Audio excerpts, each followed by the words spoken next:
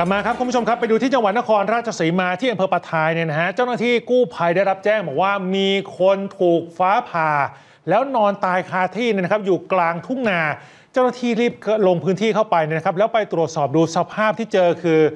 มันเศร้ามากคุณผู้ชมฮะเพราะผู้ตายเนี่ยชื่อนายวันชัยผลอ้อ ยังมีควันออกมาจากตัวอยู่เลยนะฮะนี่ตอนที่เจ้าหน้าที่กู้ภัยพยายามจะเข้าไปเก็บร่าง ซึ่งอยู่กลางทุ่งนา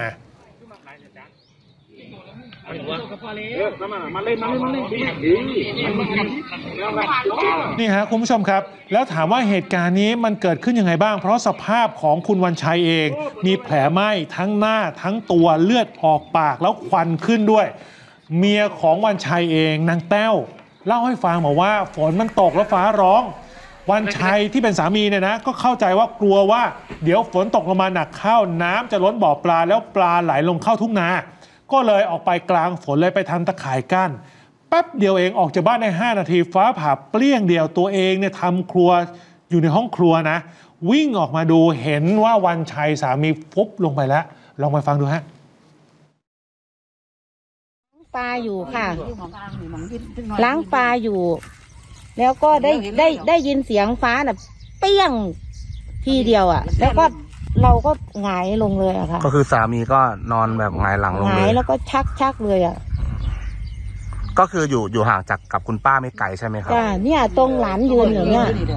บ้านนี่แหล้วก็คือป้าก็เห็นตอนที่ฟ้าผ่าลงมาเห็นค่ะสามีเห็นตัวเองเลย เห็นตอนล้มลงเลยน่ะ ล้มลงเต็มเต็มตาเลย ก็ก็คือเลยวิ่งมาก็คือผ่าลงมาที่กลางตัวเลยใช่ไหมจ้าครับตรงนี้เลยเนี่ยเนี่ยเนี่ยเนี่ยตรงเนี่ยบริเวณคือมีรอยแผลรอยไหม้อะไรไหมครับ ไม่เลยค่ะ จริงจริง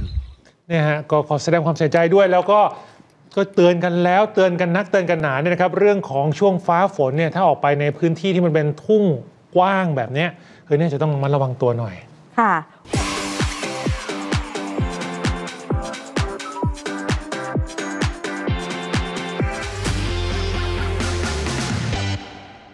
อย่าลืมกดติดตามช่องอมรินทีวีและกดกระดิ่งแจ้งเตือนกันนะคะ เราไม่อยากคุณพลาดข่าวสารและรายการดีๆ กดตรงนี้ได้เลยค่ะ